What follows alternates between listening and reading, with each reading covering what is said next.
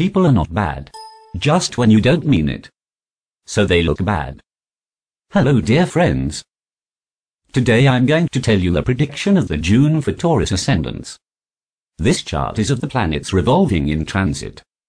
Pradosh is on the 7th of June and the 22nd of June. Vinayak Chaturthi is on the 14th of June.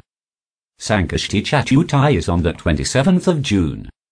New moon is on the 10th of June.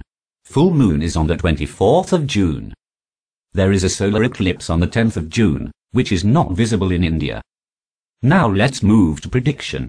Here two number is written, so you are Taurus ascendant. If your birth horoscope also has two number written here, then this prediction is for you. Please do not make any mistake in watching the video, otherwise the prediction will not match.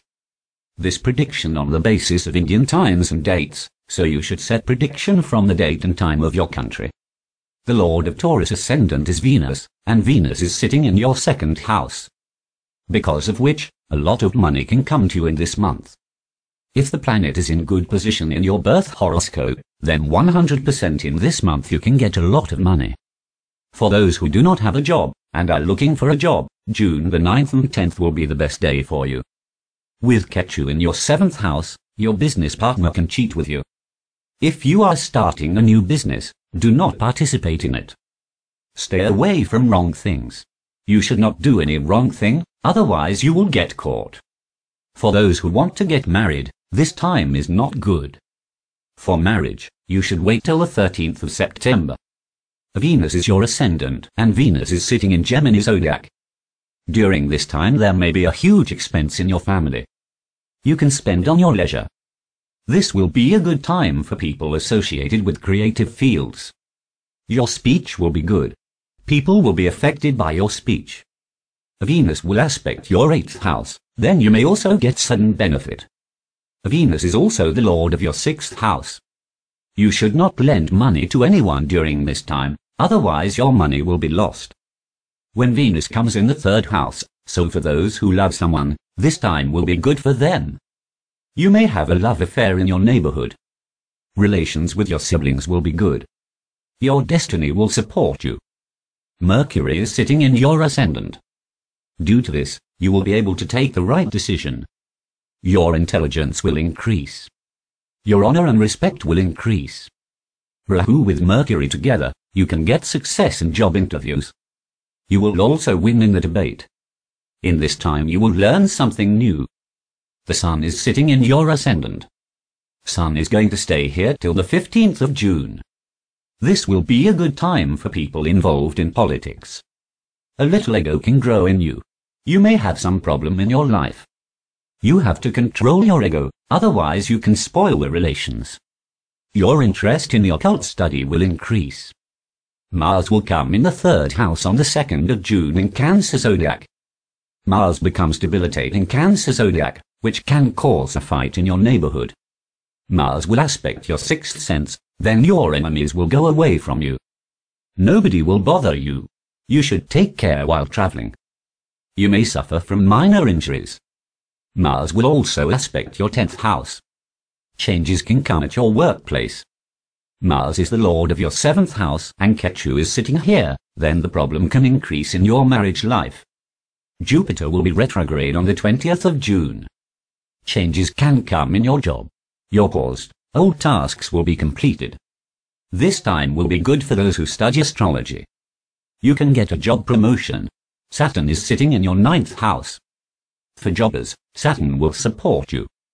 Saturn will aspect your third house, then your relations with your father and with your neighbors may get spoiled. So now let's see about the bad days. You are, or I am, one or two days in a month go, which gives us stress, discomfort, trouble. Pessimists make it, and that is the time when the Lord of the mind and the brain enters the negative position. When the moon comes in the sixth, eighth or twelfth house, it hurts us. Those who do not have a good lunar birth, they can observe Pradosh on the 7th of June and the 22nd of June. This is the fast of Lord Shiva. 5th, 6th and the 7th of June, 20th and the 21st of June. There will be bad days for you, so you should not take any wrong decision on this day. It is good if you do not fall into the mess of waste. Control your speech. Do not say that someone's soul is hurt. Your expenses may increase. Health problems can also come. Now know about Gaj, Keshri Yoga.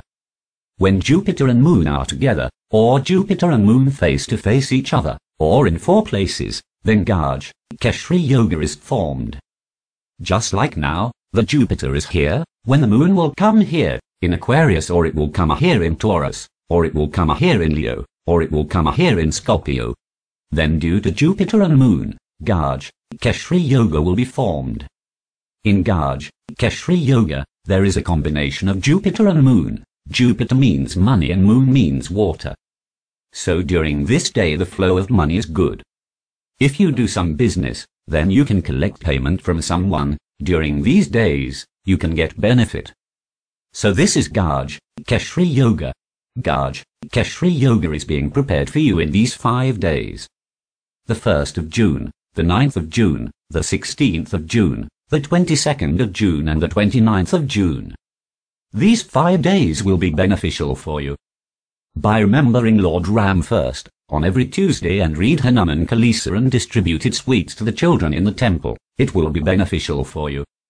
For those whose birth Mars is not good, meaning that Mars is in the 4th, 8th or 12th house in your horoscope, then you can observe Vinayaka Chaturthi on the 14th of June and Sankashti Chaturthi on the 27th of June. If Rahu is bad in your horoscope, meaning in 4th, 8th or 12th house, then you should recite Vishnu name on every new moon. In flowing water, shedding coconut will also reduce the bad effect of Rahu. In this month, new moon is on the 10th of June. There is a solar eclipse on the 10th of June, which is not visible in India. If you donate on this day, it will be good for you. If you can't donate, Sun Mantra. Om Japaku Zoom Sankasham Kashayapayam due time. To Mori Sava paper name Pranatosmin Divakaram. One should chant this mantra. Chanting Sun Mantra can get rid of all your problems. Chanting the mantra during eclipse quickly proves that mantra. On every new moon, June the 10th, put some black sesame in water and offer it to the peepal tree, will get the benefit too. So this was the June month prediction for Taurus Ascendant. Keep watching our channel for more information. Thank you.